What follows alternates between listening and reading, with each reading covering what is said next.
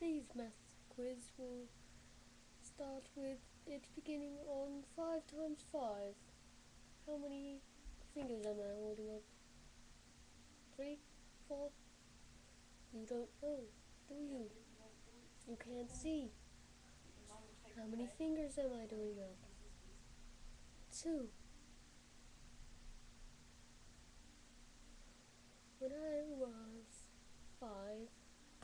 My mother asked me, what is five times two? I said, twelve. That was the answer.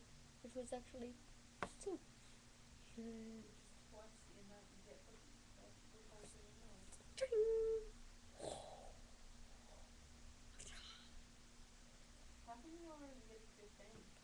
That's it for now. Come back for my.